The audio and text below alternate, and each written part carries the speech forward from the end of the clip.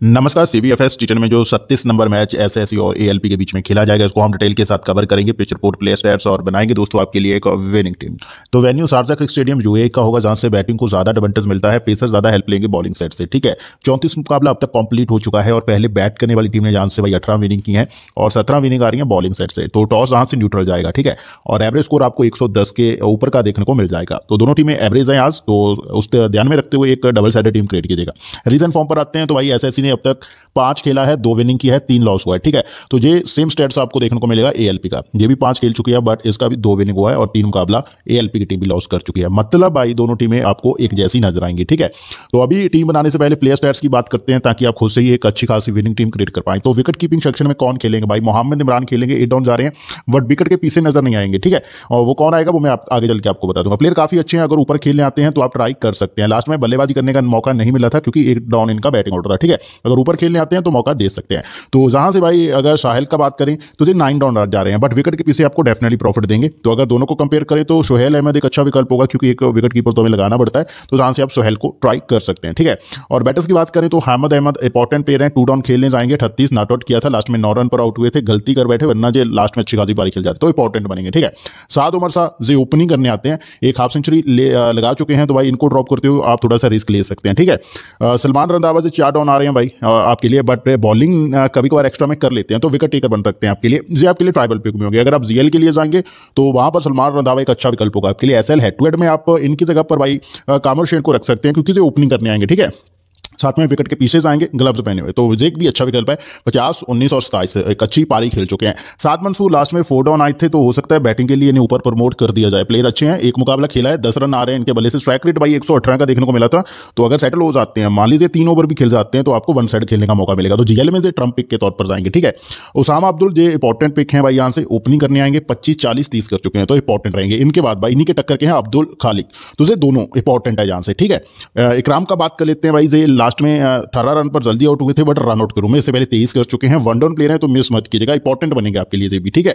तो जो बैटिंग में भाई इंपॉर्टेंट है मैं एक बार फिर से क्लियर कर देता हूँ जहाँ से क्राम है आपके लिए। अब्दुल रहेंगे उसामा है, ये तीनों काफ़ी इंपॉर्टेंट है, ठीक है? इनके बाद गाइज़ आपको कामिर देखने को मिलेंगे, थोड़े से रिस्की हैं बट ओपनिंग कर सकते हैं। तो अगर आप जीएल के लिए एक बैलेंस टीम क्रिएट करेंगे ट्राई कर लीजिएगा। शमार फोर डाउन आ रहे हैं, और इंपॉर्टेंट प्लेयर है, आपको बल्ले और बॉलिंग दोनों से प्रॉफिट दे सकते हैं, ठीक है? और ऊपर की बात करें तो भाई अगर हामिद को आप लेना चाहते हैं तो वेलेंट है। बट अगर आप उमर शाह को लेंगे तो तो भी चल जाएगा, ठीक है? तो इंपॉर्टेंट प्लेयर दोनों है बट दोनों को अगर कंपेयर करके खेलना चाहते हैं तो उमर शाह एक अच्छा विकल्प होगा यहाँ से, ठीक है?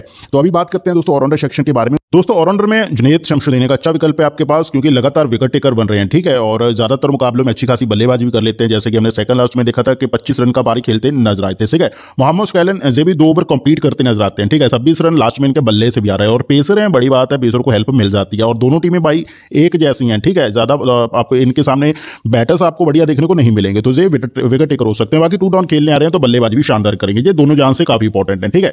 कमरान जान उतने सेफ़ नहीं है गाइज़ हालाँकि कभी कभार विकेट निकाल देते हैं बट थोड़ी सी रिस्की रहेंगे। ऑर्थोडॉक्स को उतना एडवांटेज आंसर आज नहीं मिलेगा। तो उजरमान का बात करें तो ये बॉलिंग नहीं कर रहे हैं बैटिंग करते आपको थ्री डाउन ज़रूर मिलेंगे। तो मुझे नहीं लगता कि अकेले बैटिंग के लिए नहीं लगाना एक समझदारी का काम होगा आपके लिए तो इन्हें आप ड्रॉप कर सकते हैं यहाँ से, ठीक है? सोहेल अहमद खान जे भी उतनी खास नहीं है। ऑर्थोडॉक्स कर रहे हैं तो भाई मैं बोलूँगा इन्हें ड्रॉप कर दीजिएगा, ठीक है? तो जहाँ से ऑलराउंडर में भाई दो प्लेयर ही काफ़ी ज़्यादा इंपॉर्टेंट है, जो कि मैंने ऊपर लिखे हैं, एक तो शमशुद्दीन है, इसके बाद आप मोहम्मद शालन को रख सकते हैं। ठीक है ये दोनों काफ़ी इंपॉर्टेंट बनेंगे आपके लिए। और बॉलिंग की बात कर लेते हैं। जहाँ से भाई, मैं जौहर इकबाल को बोलूँगा कि अगर आप लगाना चाहते हैं तो इन्हें आप हेड टू हेड और एसएल के लिए ही ट्राई कीजिएगा। जीएल विनर नहीं होंगे, ठीक है? क्योंकि लास्ट में दो विकेट ले रहे दो ओवर कर रहे हैं बट विकेट टेकर नहीं रहे हैं। इकॉनमी इनका थोड़ा सा ज़्यादा चला जाता है। तो हेड टू हेड एस के लिए इंपॉर्टेंट है बट जीएल में आप दो से लेकर तीन टीम इनके बिना क्रिएट कीजिएगा, क्योंकि सिलेक्शन काफ़ी ज़्यादा जाएगा अगर अच्छा नहीं खेल पाते तो आपको रैंक करने का मौका मिल जाएगा। नूर अब तक असफल हुए हैं विकेट लेने में, ठीक है? किसी मैच में विकेट नहीं आ रहा है। हालाँकि पाँच, चार इनिंग खेल चुके हैं लास्ट में और कंप्लीट ओवर करने के बाद भी इन्हें विकेट नहीं मिला है। तो ये काफ़ी रिस्क है। ड्रॉप कीजिएगा, ठीक है? वशीम अकबर लास्ट में तीन इनिंग में तीन विकेट लेकर आ रहे हैं और बड़ी बात है कि विकेट टेकर बनेंगे। एक तो फास्ट बॉलर है ऊपर से दो ओवर कंप्लीट करने को मिल रहे हैं, ठीक है? तो ये जहाँ से इंपॉर्टेंट है। सन्नी आज़म थोड़े से रिस्की बनेंगे क्योंकि लास्ट में बॉलिंग इन्होंने नहीं किया था। अगर बॉलिंग करेंगे तो विकेट टेकर हो सकते हैं, ठीक है? बट बीच में दो इनिंग में इन्हें बॉलिंग करने का मौका नहीं मिला था। तो ये थोड़े से रिस्की हैं गाइज़ अगर आप हेड टू हेड में ज़्यादा इन्वेस्ट कर कर खेल रहे हैं, ठीक है? दस हज़ार, बारह हज़ार का लीग खेल रहे हैं तो ट्राई मत कीजिएगा उसके लिए। अगर आप स्मॉल लीग खेल रहे हैं और कम इन्वेस्टमेंट के साथ खेल रहे हैं तो इनके साथ रिस्क ले सकते हैं, ठीक है?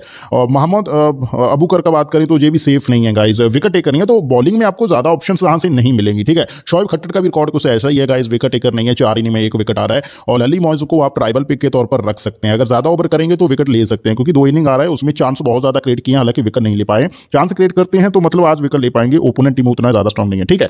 तो अभी बात करेंगे दोस्तों विनिंग टीम के बारे में, उससे पहले अब तक अगर आपने चैनल को सब्सक्राइब नहीं किया है, ज़रूर कीजिएगा। टेलीग्राम पर फॉलो कर सकते हैं, अभी आप मुझे लिंक आपको नीचे डिस्क्रिप्शन बॉक्स में मिल जाएगा। इसके लिए गाइज़ आपको लाइक का टारगेट भी कंप्लीट करना है आज एक प्लस का लाइक का टारगेट है, जल्दी से कंप्लीट कीजिएगा, मुझे मोटिवेट करने के लिए। दोस्तों अगर फैंटेसी टीम का बात करें तो मैं जहाँ से विकेट कीपिंग में ले रहा हूँ मोहम्मद इमरान को। अगर नीचे खेलने जाएँगे तो मैं इनको ड्रॉप करते हुए शोहेल अहमद को ले लूँगा, जो कि थोड़ा सा ऊपर भी खेल सकते हैं, और बड़ी बात है, वो विकेट के पीछे जाएँगे इमरान विकेट के पीछे जाने के कम चांस रहेंगे, क्योंकि इस टीम के लिए जो एस के लिए विकेट कीपिंग करते हैं, वो भाई हुसैन करते हैं कभी कभार ठीक है? तो ये चीज़ आप माइंड में लेकर चलेगा। इनके बाद भाई बैटर्स काफ़ी ज़्यादा इंपॉर्टेंट है तो जहाँ से मैं हुसैन को लेकर चला हूँ, उमर शाह को रखा है और अहमद को रखा है सेफ़ खेलने के लिए, ठीक है? ऑलराउंडर सेक्शन में अब्दुल ओपनिंग करेंगे तो इंपॉर्टेंट है जहाँ से रंदाबा का रिकॉर्ड काफ़ी अच्छा है। सेफ़ जाएँगे आप इनके साथ में, ठीक है? ऑलराउंडर में भाई, जहाँ से मैंने ज़्यादा जो प्लेयर इंपॉर्टेंट है, वही ट्राई किया है। मोहम्मद शुकैलन को ट्राई किया है और सैम सुदीन से दोनों इंपॉर्टेंट है और मैच थोड़ा सा रिस्की है तो मैं कैप और बीसी के तौर पर भी रखूँगा दोनों को, ठीक है? और उजर मान जी थोड़े से बेहतर हैं औरों के मुकाबले में तो तीसरा बड़ा विकल्प होगा आपके पास, ठीक है?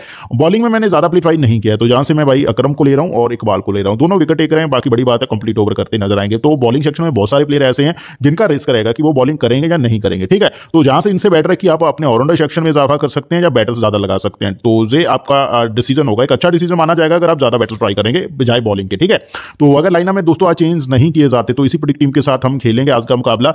और अगर चेंजेस होंगे तो फाइनल टीम आपको टेलीग्राम पर मिल जाएगा। डेफिनेटली अगर एक बात और गाइज़ अगर आप जीएल के लिए रिस्की टीम क्रिएट कर रहे हैं भाई तो उसमें कैप्टनसी ऑप्शन के लिए भाई, मैं बेहतर बोलूँगा कि हुसैन काफ़ी अच्छे हैं। एक तो टॉप ऑर्डर में खेलने आते हैं ओपनिंग करते हैं, बाकी विकेट के पीछे जाएँगे। तो जीएल में आप इनको कैप रख सकते हैं रंधावा को रख सकते हैं अहमद को रख सकते हैं, ये तीनों काफ़ी इंपॉर्टेंट है। और ऑलराउंडर में देखें तो भाई उजरमान को ले सकते हैं, ठीक है? बॉलिंग में ज़्यादा ट्राई मत कीजिएगा, क्योंकि मुकाबला ज़्यादा बड़ा नहीं है। ठीक है तो आप रिस्क में चले जाएँगे अगर आपका कैप अच्छा नहीं कर पाता। तो अगर लाइन में चेंजेस नहीं होते तो दोस्तों हम हंड्रेड वॉन करेंगे मेरी टीम के साथ में। अगर चेंजेस हो जाते हैं तो फाइनल टीम आपको टेलीग्राम पर मिल जाएगा। मिलते हैं अगली वीडियो में एक नई प्रोडिक्शन के साथ।